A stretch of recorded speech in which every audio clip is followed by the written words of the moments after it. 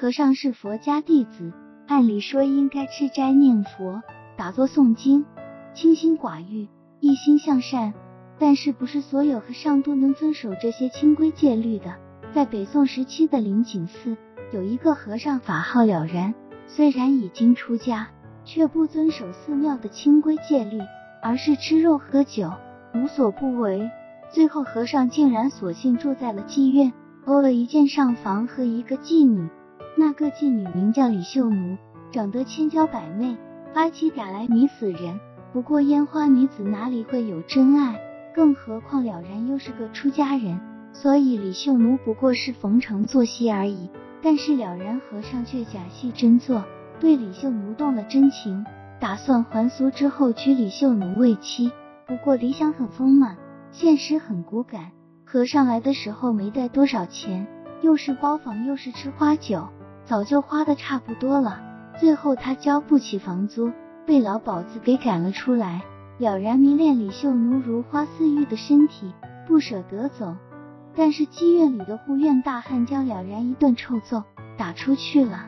在此期间，了然包养的妓女李秀奴不但不帮了然说话，还在一边嗑住瓜子取笑了然和尚：“死秃驴，没钱装什么大爷？老娘才不会嫁给你这个穷鬼！”了然遭此侮辱，又气又恨又痛心。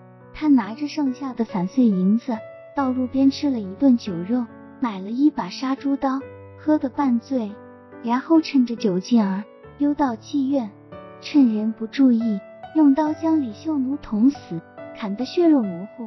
之后了然和尚扔掉刀子，坐在李秀奴尸体旁边哈哈大笑，然后又哭了起来，直到被闻讯赶来的差人逮到了县衙门，县衙门又上报到了州郡。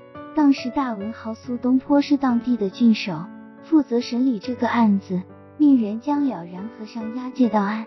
苏东坡看见了然和尚一副生死有命的样子，说：“你这和尚杀人是要砍头的，出家人为何如此凶残？”了然和尚不说话，只是挽起双袖，露出手臂上的刺青，让苏东坡看。苏东坡看见和尚左右手臂上各刺着一行字。左手臂上的字是“但愿同生极乐国”，右手臂上刺的字是“免教今世苦相思”。苏东坡看了又气又怒，笑道：“既然你如此痴情，本官今天就成全你。”于是命人打了了然和尚五十大板，判处和尚杀人属实，理应抵命。结案之后，苏东坡气性难消，又写了一首踏沙行词来嘲讽了然和尚这个秃奴。修行特煞，名山顶上持斋戒，一从迷恋玉楼春，纯一百结魂无奈，独守伤人，花容粉碎，空空今何在？